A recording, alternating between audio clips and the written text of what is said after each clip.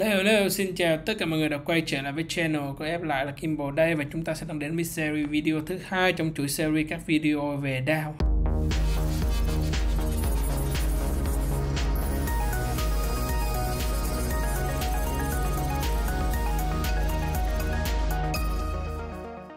Video thứ nhất thì em cũng đã giải cho mọi người những cái à, điểm lợi và điểm hại của những cái điểm lợi và đao là gì. Thì ở video thứ hai này chúng ta sẽ đến với những cái vấn đề của đao à, các loại hình đao hiện tại chúng ta đang phổ biến. Ok thì đầu tiên thì chúng ta sẽ đến với những cái hạn chế tồn tại của DAO hiện tại các loại hình DAO và tiềm năng phát triển của DAO và đến phần đến tổng kết ha.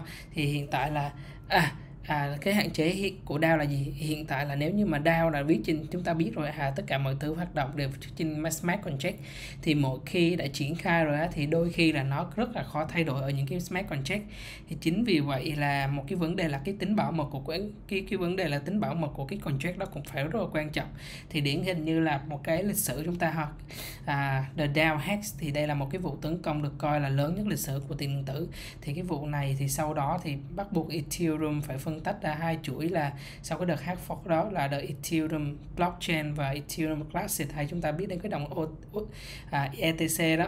Đó thì đây là một trong những cái vấn đề của DAO về cái phần bảo mật. À tất cả mọi thứ đều phải là rất là ổn định tại vì hoạt động trên smart contract mà. Nhưng bởi vậy thì smart contract đó phải thức cực kỳ là chắc chắn. Cái thứ hai là vấn đề về pháp lý đi thì hiện tại là nếu như mà một cái vấn đề chúng ta là bỏ tiền vào một cái đào mà vấn đề cái đào đó bị cái vấn đề gì thì hiện tại là chưa có một cái đơn vị nào mà đứng ra chịu à, à, chịu cái vấn đề chịu cái quyền dành cho cái đao đó. Dạng như là chịu cái hậu quả đó. Ví dụ như chúng ta bỏ tiền vào một cái đao mà đeo đao đó có vấn đề gì thì hiện tại là vấn đề là chính chúng ta chịu trách nhiệm chứ không có một cái cơ sở pháp lý nào quy định cả. Ha à, cho nên là à, hiện tại là đối với các hoạt động ở trên DAO chúng ta vẫn thấy là à nó là decentralized cho nên về cái mặt pháp lý nếu như có rủi ro xảy ra thì người chịu đầu tiên là chính là user chúng ta. À, cho nên là nếu như là một cái đau tốt thì không sao một cái đau xấu một cái đau mà nó nó nó thực sự là không có ổn định hay là một cái dự án nào đó họ chỉ họ chỉ nói là à tôi làm về decentralize xong rồi cái ở trên cái à, cái DAO của họ họ có những cái dòng code hay những cái vấn đề gì đó mà về sau này mới xảy ra thì chúng ta vẫn không có được bảo vệ về mặt pháp lý ở thời điểm hiện tại đối với những cái DAO này. Tại vì cơ bản là nó decentralize và đôi khi là nó khó bị kiểm soát bởi các tổ chức à, chính phủ cho nên là rất là khó và có đây là rủi ro dành cho những retail investor. Cho nên trước khi mọi người tham gia ở thị trường điện tử này thì nó ẩn chứa rất là nhiều rủi ro. Cho nên là chúng ta phải cân nhắc những rủi ro trước khi tham gia vào lĩnh vực đầu tư tiền điện tử nha mọi người nha.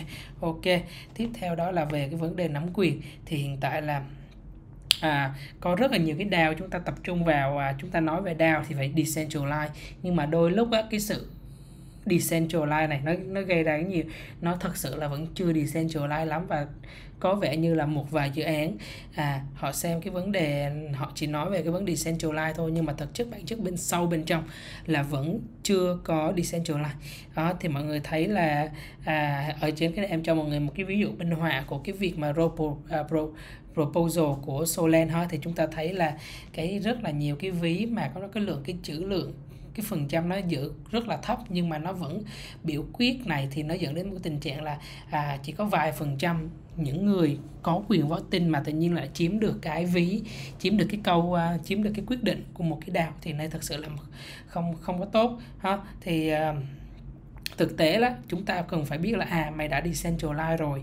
Thì dĩ nhiên tất cả mọi cái ý kiến đều cũng phải từ cộng đồng đều tất cả những người dùng hoặc là bạn phải có những cái uh, cái gì, gọi là cái cái yếu tố quy định thời điểm ban đầu là à ai được phép voting các thứ.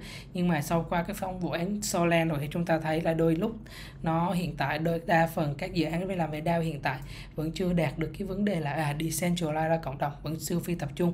Và ví dụ như nó nó thích à ai có quyền voting là vẫn được voting hơn mặc dù mặc dù ở trong quy định của nó nói là à bất cứ ai là token holder vẫn có quyền voting hoặc là bạn được ủy quyền.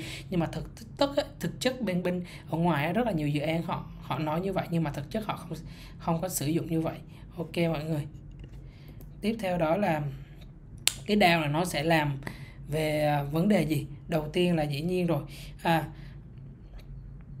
khi mà muốn cho mọi người sử dụng cái DAO này thì bắt buộc chúng ta cần phải gọi là giáo dục user của chúng ta. Phải lúc nào cũng phải giúp cho mọi người hiểu là à những cái cái cách voting của mọi người như thế nào những cái quyền biểu quyết của mọi người sẽ ảnh hưởng như cái gì. Nhưng mà hiện tại em vẫn chưa thấy các dự án họ làm được điều này. Có nghĩa là họ vẫn chưa có một cái à, một cái học viện hay là một cái academy nào đó để mà giúp cho mọi người hiểu rõ hơn cái tầm quan trọng của mọi người voting. Ha cái thích là thích là là vót thích là không vót đúng không mọi người? Đó, cho nên là nó nó nó đôi khi nó ảnh hưởng rất là nhiều đến dự án và nó ảnh, ảnh hưởng đến cái mục đích sử dụng ban đầu của cái việc mà đào. Thì cái vấn đề này giống như là cái việc hôm bữa proposal của con Solan em lại lấy ví Solan là một ví dụ nữa giữa proposal 1 và 2 ha. Ở đầu tiên là uh, proposal 1 á thì um, à, nó nó thấy là ảnh hưởng đến tiền của user cá bé cho nên những ông user cá bé voting đồng ý là thanh lý cái tài sản của ông ờ, à, cá cá cá voi. Nhưng mà đến cái proposal thứ hai á, họ nói là à có quyết định hủy cái proposal một hay không? Có nghĩa là quyết định hủy cái quyền chiếm quyền một ví của cái cá voi đó hay không? Thì tự nhiên lúc này thì tất cả mọi người đều lên án là à nếu như anh anh lúc ban đầu mà anh voting là chiếm quyền sở hữu với cá voi thì nó sẽ không đi centralize. Thì lúc này là à, ở proposal hai là 99% đồng ý nữa là những cái người đã đồng ý ở vấn đề thứ nhất họ quay qua họ đồng ý cái proposal thứ hai liền ngay lập tức luôn. Thì cái vấn đề này nó sẽ ảnh hưởng là gì? Nghĩa là tại vì chúng ta không hề có những cái cơ sở để mà để mà truyền tải cho user biết là những cái quyết định của họ nó rất là quan trọng. Như như là à tôi vote lên cái này là tôi thích vote hay là vote vậy đó. Xong rồi tôi à, không có chịu trách nhiệm tới cái voting của tôi. Thì đây là một vấn đề trong DAO thì em nghĩ là để mà nó thật sự là DAO đi vào những cái hoạt động nó mang tính là chuyên nghiệp hơn, đem lại cái lợi ích nhiều hơn, thì các dự án, các tổ chức phải có những cái những cái à, những cái học viện không phải cơ bản học viện hay những cái gọi là những cái course ở ngay tại chính dự án. Để mà voting là khi mà một bạn voting thì bạn phải bạn phải hiểu rằng bạn đang làm cái gì chứ không phải là à bạn đi theo thằng này hôm nay là nó ra một ý kiến này bạn đi theo ngày mai nó sẽ ra một cái ý kiến khác là bạn lại không có đi cái quan điểm cá nhân của bạn nữa. Thì nó nó chẳng khác là một cái chợ họ nó thích hôm nay nó thích làm gì làm mai nó thích làm gì khác. Ví dụ như chỉ cần một ông cá mập ông có ý đồ xấu hay là gì đó ông marketing tốt ông lên ông nói là à, à hôm nay là quyết định nó hay này sang ngày mai có một cái mập khác là kêu cái quyết định thằng này nó không hay, quyết định của tao hay là tự nhiên mình lại về cái ông cái thứ hai, thì nó rất là vô lý, đúng không? Mọi người nó không, nó cho chúng ta cảm thấy là chúng ta không có kiên định về cái ý kiến của chúng ta, thì cái điều này không phải lỗi từ user như chúng ta, tại vì à nó cứ bot lên là chúng ta có, chúng ta được quyền chúng ta vote thôi. Nhưng mà cái bản chất ở đây là tại vì nó không có những cái khóa học dành cho mọi người để mọi người hình dung là được cái việc mọi người làm nó ảnh hưởng như thế nào và chúng ta cần phải làm gì ở trong những cái vấn đề đó. Thì em hy vọng là các dự án sắp tới đây họ, khi mà làm về DAO thì họ sẽ có những cái như vậy để mà cho user họ hiểu rằng à tôi à, đồng ý à, cái quyết định của tôi tại vì tôi đã hiểu nó chứ không phải là tôi quyết định như thế này tại vì tôi nghe một ông khác nói thì nó khá là vô lý. Ok thì hiện tại em cho mọi người biết là có hai loại hình loại hình DAO hiện tại. Đầu tiên là token based DAO. Token based DAO này giống như là cái việc mà mọi người sở hữu một lượng lớn token thì mọi người sẽ có um, quyền mà à voting. Chúng ta có thể cho thấy những cái dự án như là MakerDAO, Uniswap, SushiWeb thì họ hình thức cái này. Cái thứ hai là một trong cái phổ biến thứ hai là organization organization hay là chúng ta còn gọi tắt là share bay down. Thì ở cái share bay down này thì nó đại diện cho một nhóm tổ chức có chung một mục đích lĩnh vực nào đó. Thì điển hình như là các venture DAO tập trung vào việc đầu tư. Thì à, các thành viên sẽ được dùng cổ phần đại diện để biểu quyết qua hoạt động của tổ chức, ha. Cái này nó khác với cái đầu tiên cái đầu tiên chúng ta chỉ cần có token là chúng ta được làm. Cái thứ hai là bạn phải ở trong một cái cái à, cái cái tổ chức đó thì nổi tiếng ở đây là The Loud Investment. Thì cái mục đích của khác với token based DAO thì khi mà bất ai cũng có thể tiếp cận token và tham gia DAO á thì xe bay DAO này thì thường xuyên yêu cầu tham gia phải đáp ứng một cái điều kiện nào đó. À, ví dụ như bạn phải ờ, đạt được một cái này thì bạn mới quyền còn không thì bạn hãy sử dụng cái quyền của bạn để cho một người khác đại diện đi. Đó thì hai cái này thì nó khá là phổ biến ở trên thị trường hiện nay. À, một bên là sử dụng token một bên sử dụng quyền. Thì cái nào nó cũng có cái lợi ích của nó và cái nào nó cũng có cái cái mặt sai của nó cả. Ví dụ như token bay DAO này thì nó là đi theo cái hướng mà à dành cho tất cả mọi người đều có ý kiến đúng không? Nhưng mà cái nhưng mà cái ý kiến là ví dụ như là à, cái ý kiến của mọi người sai đi thì sao? Đúng không? Tự nhiên là user retail investor đôi khi là chúng ta không có kiến thức bằng những cái tổ chức những cái cá mập cho nên đôi khi chúng ta vote down và nó ảnh hưởng đến dự án. Thì cái xe bay down này thì nó lại à, tập trung vào một nhóm và nó cái lợi ích chung cá nhân nó nhiều hơn. Cho nên nó sẽ không có à, dựa vào cái lợi ích của ông này. Thì hiện tại là thấy thằng này nó cũng có cái điểm mạnh và điểm hại của nó cả ha. Cho nên khi mà chúng ta tham gia một dự án á chúng ta phải biết là à nó thuộc là hình thức nào.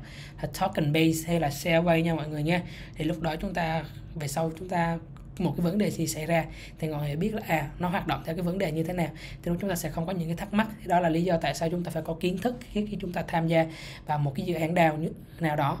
Ok thì chúng ta sẽ đến cái tiềm năng phát triển của DAO đi thì dĩ nhiên rồi cái DAO nó sẽ có rất là nhiều tiềm năng bên cạnh những cái mặt hại mặt xấu chưa được giải quyết.